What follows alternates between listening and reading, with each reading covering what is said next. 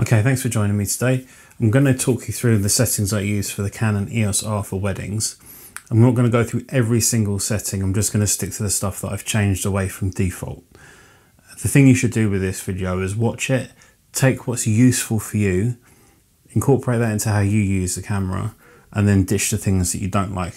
There's no right or wrong way to do this, it's always just personal preference, but these are the settings that work well for me. So the first thing is I'm obviously shooting in RAW, dual pixels disabled. Image review I leave off because it's a mirrorless camera. You're seeing the pictures already before you take them. Although I will switch this on if it, when it comes to the reception. I'm using flash as fill flash. Then I'll switch the image review on for a while. Release without the card, I switch off. That means it doesn't take a photo if there's no card in the camera.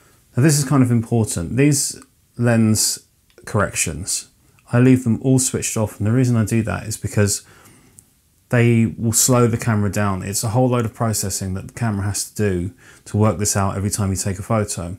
So if you, let's say you have image review on, you take a photo and it takes a moment to show you that photo, that's because it's having to do all this processing beforehand. So if you want to speed up the buffer of the camera, the processing time, and then consequently the write speed of the camera, you're going to want to switch all of these features off. Okay, so in here, the ISO speed settings, you can see what they are. I leave the minimum shutter speed at 1 250th of a second because that tends to be what I use for aperture priority as a minimum shutter speed. I would normally configure my C1 and C2 custom profiles in the camera to be a 250th of a second and 1 125th of a second on each one and the settings would otherwise be the same it just means I can drop down my shutter speed quickly um, if I want to or raise it up if I want to stop people moving. Auto lighting optimizer, I switch this off for the same reasons as before.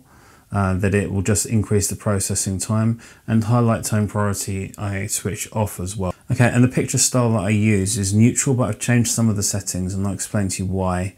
If I go into it, press info, um, the sharpness eh, strength is at three. I found that that's okay, but the contrast I've dropped that down to the minimum amount. As you can see here, that's where the contrast is. And the reason I do that is because when I'm looking through the camera, I want to be able to see the picture with the most dynamic range possible. And that means using the neutral picture style and then dropping the contrast right down because it's easier to get a more accurate exposure if you can see more information in the highlights and the shadows. If you have like a more contrasty profile, it can lead you to making unnecessary changes. Like let's say someone's got more light, window light on them and you think the highlights are blowing when they're not um, it can make you make changes that you didn't really need to. When you can see more of the dynamic range, then you're going to be in a better position to make those adjustments. I leave the saturation where it is and the color tone as well. It's important to remember though, when you're using the these picture profiles, they're only going to affect what you see through the viewfinder and on the screen on the back of the camera. They're not going to have any effects on the RAW file as such. These are only JPEG settings, but the image that you see on the screen is the JPEG rendition of the RAW file, but that will not record to the card. It's only affecting what you see, which is because I'm shooting in RAW, that's why I want to use a picture profile that's closest to the RAW file. And by taking the neutral profile and then dropping the contrast down to the minimum, that's the closest I can get to an actual representation of the RAW file. Um, long exposure noise reduction, high ISO noise reduction, all these things I'll just leave them switched off. Nothing really particularly relevant on that page. The anti-flicker shoot, I enable that. That's just for when you've got, um, uh, that helps when you've got fluorescent light bulbs indoors and they flicker a bit. Uh, it helps the timing because when those tube bulbs that you get in buildings like, like a long tube, they flicker and it helps keep the brightness at the same level because otherwise you can end up with a mixture of light and dark exposures. Um, eye detection, I switch that on now the touch and drag settings are for moving the focus point around with your thumb and I'll show you how I do it because I think this is, well, I think it's the best way to do it. So I enable, enable it and I leave the position method at relative but I change the, the area to the top right. So that means it's just this part of the screen that's working as the uh, thumb drag, which means that you're not kind of, it's quicker to move the focus points around and it's easier. And I find that that doesn't get in the way of your nose or your face so much. And um, I've, I found that to work better. Uh, peaking settings I'll have as on, high and red. Sometimes I use that for the detail shot and the focus guide I leave to on. That's the thing where you get these two um, these three sort of bars that move towards each other for helping you with focus. I find them quite useful. You can look that up online as well to see what they are. Now, this is an interesting one. There's the jury's kind of out on what settings to use for this, but I'm pretty sure that these are the best ones, and I'll explain to you why. I turn the tracking sensitivity and the acceleration of the tracking all the way to the highest point. That means that the focus is going as fast as possible. Now, some people could have said would say that that's too jittery, but my argument on it is that with the EOS R and mirrorless cameras, it's very easy to shoot with wide aperture lenses and use the eye tracking.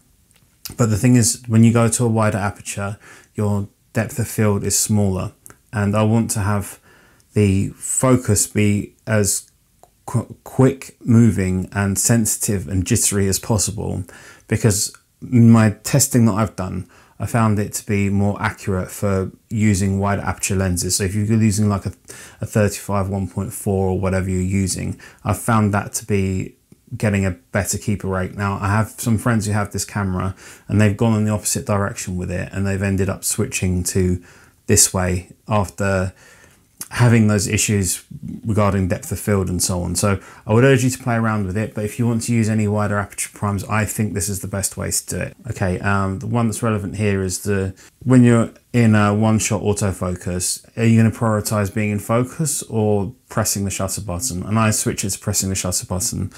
I do that with every camera that has that setting on it that I've used. And the reason I do it is because I've found that most often the camera is pretty much in focus already when I press the button. If you switch it over to focus, it won't let you take the photo until it's absolutely sure it's in focus.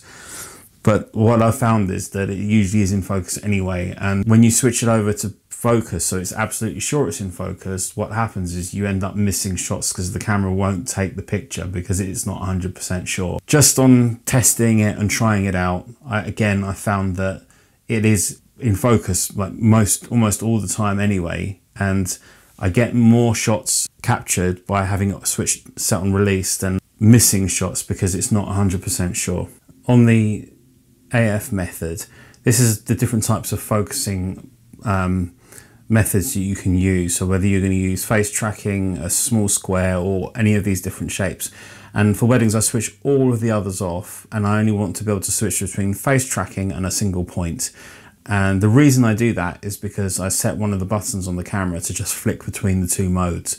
So what I want to do when I'm if I'm shooting a wedding is I want to be able to instantly switch between tracking the face and moving a, a, a, single square point around to focus wherever I want to. I want to be able to switch tracking of the face off instantly at a touch of a button. I'll show you how I set that up because it's really useful to be able to go from a square which you can move around to tracking a face and back again instantly. Uh, one thing I switch on, on this here is the image jump. So it's when you turn the dial, when you're reviewing your pictures, uh, I switch it to one because the default's 10. So instead of skipping like loads of pictures, I just switch it to one. So I'm scrolling through one picture at a time. Uh, file numbering is set to continue. Auto rotate, I switched on, just turns the uh, image around for you. Okay, so here I have the uh, brightness set to just the middle and the color tone set to standard and the disable the beep. Now the shooting info display so what I do for this is these are the different, when you press the info button on the back of the camera, what information do you get up? So I have these two screens set up for myself. Um, they give me the basic information and the other one gives me the histogram. And what that means is like if I show you here, it just allows me to have pretty much an on-off button like this with the info button. So there's only two screens. I'll show them again in a minute. So one brings up the info and the histogram, and the other one just goes to a more basic setting. So that, and that's the same in the viewfinder as well. I don't want to cycle through lots of different settings. Essentially what I want to do is get the, the histogram up and remove it, um, but also gra grab a few other settings too. So the, so the way I've done that is I've got number one set up like this. If you want to copy it, just pause the video. And I've got number three set up like this. And again, that's just to give me a really simple way of uh, flicking the histogram on and off and getting a few more settings. Display, I switch to smooth, so it means that you're getting a nice smooth uh, viewfinder. I have the display settings are auto, so it switches between the viewfinder and the screen automatically. On this page, one of the things I've changed over is the safety shift. I have it set at TV AV, and what this is, is when you're shooting in aperture priority or shutter priority, it means that if your camera maxes out, let's say you're shooting an aperture priority and you're shooting at an aperture of 1.4, um, the camera will change the ISO and the uh, shutter speed for you accordingly. But let's say it gets too bright, the, the picture will overexpose and blow out. What it means is that it will at that point then change the uh, aperture down. It won't just leave it fixed at 1.4 if it's going to completely ruin the shot. So that's called safety shift. And the other one I leave on is same exposure for new aperture. So that means that if I'm shooting, let's say I'm at 1.4, I'm in aperture priority, and then I decide I want to be at 2.8, what it will do is it will adjust the ISO to give me the same exposure at the new aperture. Okay, so customized buttons is quite important. There's some of the most fundamental settings in the camera. The MFN button on the top, this is the small button next to the shutter. I have this to change the direct method of selection, uh, the type of focusing. So what that means is when I press it, I will go between face detect, so as I'm pressing it now, and the small square. So I can select what I want to focus on using my thumb. But if I want to face track, I just press that button on top and it switches. And that's really quick and simple. I don't want to cycle through lots of different modes. Okay, the other one I change at the back here is the star button. And I have that switched to ISO. So when I want to change the ISO, all I do is I press my thumb down on the star button and I wheel the top wheel around to change the ISOs. I'll show you that working now. So you see the ISOs down here at the bottom. I press my thumb down, change it, and it changes the ISO.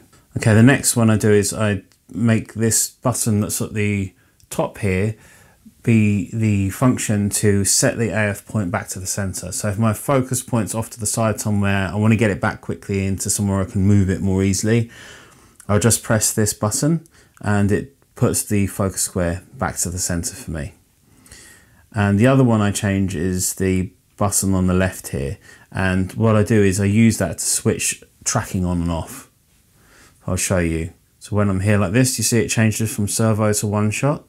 And you see how the focus points over to the side? If I just press the up button, it goes back to the middle. And those are the custom function buttons. Touch bar on the back, I turned everything off because I, it doesn't really work. I think everyone's pretty much just accepted that now. And lastly, for the my menu at the end, um, you can ignore some of the other settings there because there's certain things I've used for video.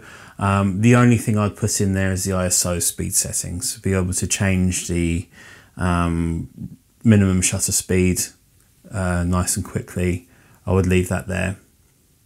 And that's it. So the way I've set the camera up is, is fairly simple and my operations as I'm using it are really um, using the button on the top here to switch face tracking on and off, resetting the center point with the up button, switching tracking on and off, changing the ISO by pressing my thumb down on the star button. That's it. That's all you need. I think it's a really good camera actually for shooting weddings because you can set it up in this simple way. I like to keep, I strip the camera down to a more basic um, series of settings like this for weddings because I just want to get to the things that I need. If I can move a focus point around really quickly and if I, uh, if I can switch the face tracking, which will be with eye detect on and off at the touch of a button. I can switch tracking on and off at the touch of a button, and I can recover my focus point to the center at the touch of a button. That's it, I'm done. And with the EOS R, I know one of the questions will be, do you shoot aperture priority or uh, manual most of the time? So what I do is I'll shoot manual as much as I can. If the lights, if I'm in an environment where the light's changing too quickly and I'm thinking too much about my exposures, I'll switch it to aperture priority because I need because there's a time pressure at weddings. So then I'll switch to aperture priority to make sure that I can get the shot. And when I'm in aperture priority, I do like to have the shutter speed at one 250th of a second because it's good at freezing motion in people and you will get sharper photos like that. One of the things I noticed with people, just to bring that up, which is kind of separate, is that um, I noticed a lot of people saying, oh, I'm not always getting sharp photos. People not getting sharp photos is usually down to the shutter speeds being a little bit too low. If you bring them up just slightly, what I'm talking about with the shutter speed being too slow is sometimes people get the teeniest bit of motion blur, and I mean really minuscule, but it makes the picture look a bit soft. Um, so I think 250th of a second is a good point where it kind of stops that. So anyway, I hope that was useful. Please like and subscribe. It would uh, be really great for me if you did that. And I'll catch you again soon. Take care. Bye bye.